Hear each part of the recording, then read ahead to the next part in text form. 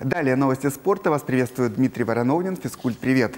Начну с приятных и уже ставших привычными э, в эти дни вестей из Турции, где здорово выступают маунтинбайкеры Удмуртии на международной гонке третьего класса, трасса которой проходила на высоте 1400 метров и практически вся состояла из длинных затяжных подъемов. Воспитанники Владимира Белокрылова сдюжили. Анна Коновалова финишировала первой, Валерия Пивоварова четвертой, Влад Максимов и Стас Антонов вторым и третьим.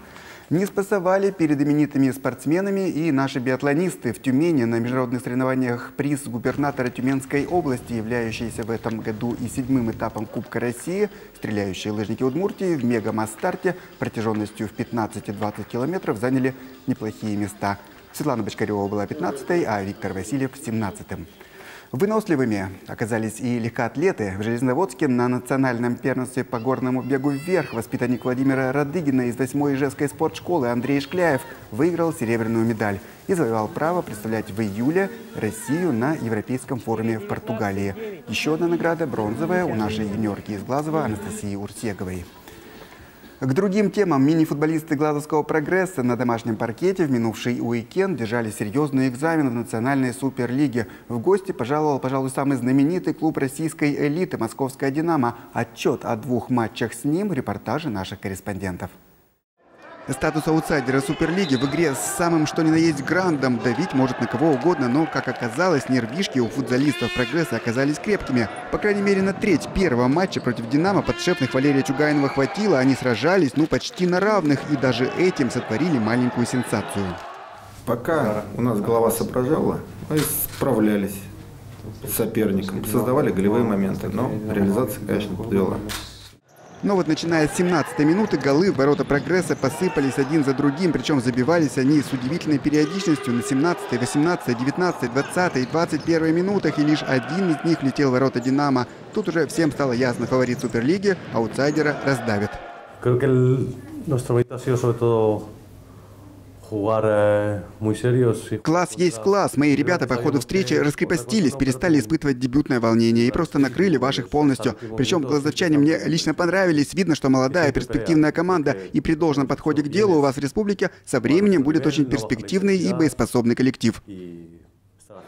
Перечислять авторов всех мячей в этой двухсерийной голевой феерии, наверное, нет смысла. Скажем лишь, что «Динамо» одолела глазовчан 8-2 и 11-2. И увезло из Ижевска самое главное для себя – промежуточную первую строчку в таблице регулярного чемпионата.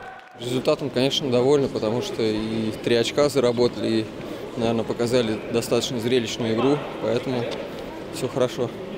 Мини-футболисты же «Прогресса» по-прежнему остаются на 14 месте в таблице. После 34 игр у подопечных Чугайнова 13 очков. Хоккеисты из Штали в сухую со счетом 4-0 завершили полуфинальную серию плей-офф ВХЛ против Тверского ТХК. В последнем матче на выезде «Металлурги» победили в овертайме. И теперь в финале сыграют с нефтекамским «Таросом». Первые две игры пройдут в Ижевске в следующий понедельник и вторник.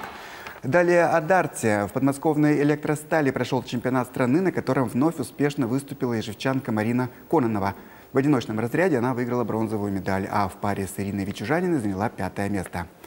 А теперь вернемся в столицу Удмуртии и подведем итоги всероссийского турнира по настольному теннису. Он собрал сильнейших юных спортсменов из 10 регионов страны. Для них этот старт стал хорошей возможностью подняться на несколько ступенек вверх в российском рейтинге. 100 участников, 100 молодых, перспективных спортсменов. В приехали набираться опыта и мастерства. Если честно, состязаний у этой возрастной группы, особенно всероссийского уровня, в календаре не так уж и много. Для них это вот изначально просто посмотреть, как люди играют из разных городов, смотреть, что они умеют, что другие умеют, показать себя и вот просто, чтобы они общение даже с другими детьми из других городов. Каждый участник ставил перед собой свои задачи. Так, десятилетняя Катя Кильдибаева была настроена выиграть медаль. Хотя теннисом она увлеклась не так давно. Говорит, очень хочет стать мастером спорта и выезжать на крупные турниры. А для этого надо быть на каждом старте в призах. Нужно очень сильно постараться и приложить все силы. Набраться опыта. терпения. Рейтинг поднять. Да, особенно рейтинг поднять. Рейтинг ну, надо поднимать, чтобы он у тебя стал больше и тебя стали бояться. Катя в итоге была третьей, заработав свой актив хорошие очки и поднявшись в рейтинге российском на несколько строк выше. Но удалось так успешно выступить не всем. Кто-то выбывал в борьбе за медали на начальном этапе и, конечно, очень расстраивался. Кто-то плачет, кто-то не плачет. То есть, ну, кто-то в себе держит. Это видно, что он хочет заплакать, он держит. Но все переживают, это точно. Кто по окончании соревнований не расстроился, так это местные атлеты. Они завоевали почти половину разыгранных на турнире наград и теперь в хорошем настроении отправятся в Новочебоксарск на первенство Приволжья.